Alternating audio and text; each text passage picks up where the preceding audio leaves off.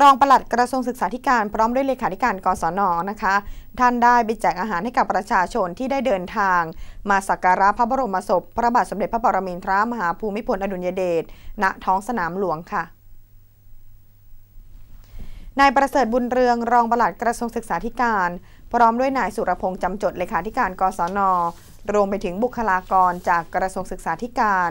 ได้จัดทำอาหารให้กับประชาชนที่เดินทางมาสักการะพระบรมศพ พระบาทสมเด็จพระปรมินทรามหาภูมิพลอดุลยเดช ณ ท้องสนามหลวง โดยทางกระทรวงศึกษาธิการนะคะก็จะมีเต็นท์ของกระทรวงศึกษาธิการ อยู่บริเวณพิพิธภัณฑสถานแห่งชาติพระนครค่ะ โดยได้มีการสับเปลี่ยนหมุนเวียนกันของหน่วยงานในสังกัด จัดทำอาหารแจกจ่ายให้กับประชาชน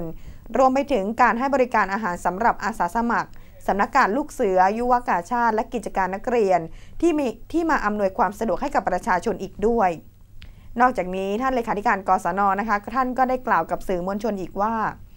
การบริการอาหารของครัวกศนก็ได้รับความร่วมมือ จากหน่วยงานในสังกัดของกศนทั้งกรุงเทพมหานคร แล้วก็ต่างจังหวัด มาช่วยกันนอกจากนี้ค่ะก็ยังมีบริการย้อมผ้าให้กับประชาชนตามจุดบริการต่างๆ อีกด้วยค่ะ วันนี้นะครับครัวกระทรวงสาธารณการโดยกศนนะครับ ตามที่ได้ทางกระทรวงได้มอบหมายมานะครับทางทางกศนวันนี้ซึ่งมามาหลายหน่วยนะครับนะครับ ไม่ว่าจะเป็นทางกศนจังหวัดสุรินทร์ชัยภูมิ บุรีรัมย์ขอนแก่นนะครับ แล้วก็อีกหลายจังหวัดนะฮะ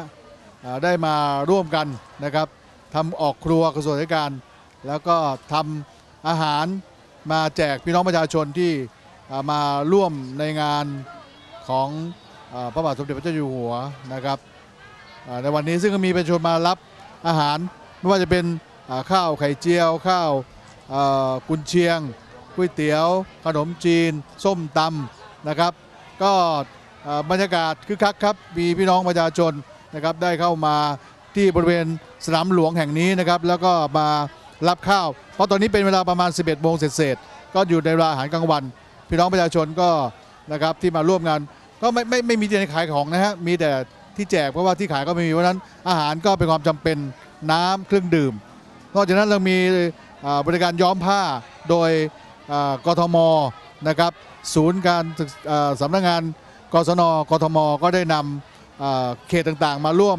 ออกบริการย้อมผ้าให้กับพี่น้องประชาชน ด้วย ซึ่งก็มีผ้าเข้ามานะครับรับการย้อมจากเราจำนวนมากนะครับถ้าดูขนาดนี้ก็มีเป็นเป็นร้อยคนแล้วฮะสองสามร้อยคนแล้วที่มารับบริการย้อมผ้าจากเรานะครับ ครัวกศนเนี่ยเราจะรับถึงวันที่ 24 ตุลาคม หลังจากนั้นวันที่ 25 นะครับ อีก 7 วันฮะถึงถึงวันที่ 2 พฤศจิกาเนี่ยก็จะเป็นคิวของทางอาชีวศึกษา ต่อจากอาชีวะก็จะเป็นสปท ต่อจากสปทก็จะเป็นสกอ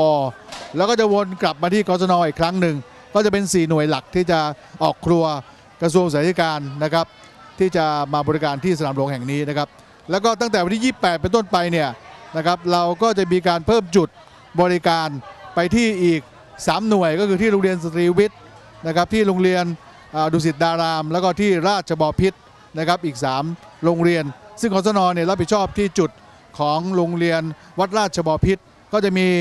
ย้อมผ้าแล้วก็จะมีอาหาร แล้วก็จะมีการทำริบบิ้นนะครับไปทำในในจุดของโรงเรียนวัดราชบพิษด้วยครับ